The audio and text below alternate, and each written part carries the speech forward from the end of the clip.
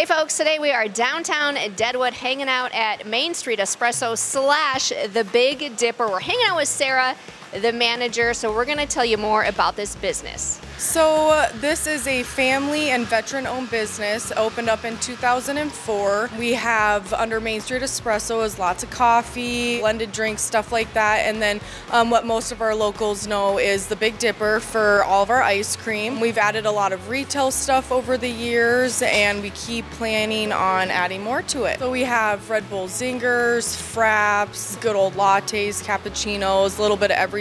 We do specials every week, lots of fun names, different things to change the vibe every every week. We change stuff up. Yep. And then I see you also have some treats here from different local businesses. Yes, we try to keep everything local. We get cookies from Mary Mountain Cookies in Rapid City. And we cut up our own scotcheroos. We have different coffee cakes, candy, like old school candies like Beeman's gum, saltwater taffy, candy sticks, all kinds of stuff like that. And like you said, right on the other side is the ice cream. So talk about what ice cream you offer. So many kinds. So we use Kemp's and Cascade Glaciers are brands that we use. Um, Moose Tracks, one of our most popular flavors. We got Fruity Pop Rocks for the kids that like those crazy kinds of flavors butter pecans, salted caramel cold brew, lots of good ones. So retail we've added recently in the last few years. We also try to keep that local based. Um, we have a lot of mugs with like our logo on it and then we have locally made candles. Um, we have Dark Canyon coffee that we've been carrying for like 16 years. Um, and then all kinds of different t-shirts that are locally made with Sodak clothing.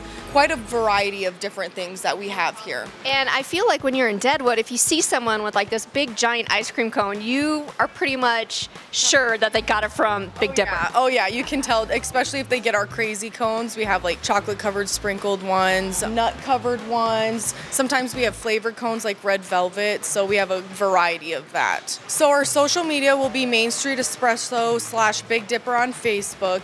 And then um, our hours are, vary. They change in the summertime. You know, it's anywhere from 7.30 to 10 or 11 at night. But then in the wintertime, it does slow down quite a bit. So our hours change from like 8.30 to anywhere from 5 to 8. It really just depends on how much snow we get because not as many people come out when it's a blizzard outside. Deadwood has a lot of bars and casinos, but if you come here, you can get a coffee or get ice cream for the kids. Um, there's a lot of gift shopping that you can do, stuff for kids and for grown-ups, so it's really nice to have that variety for everything. Yeah, thank you. That was good, thank you.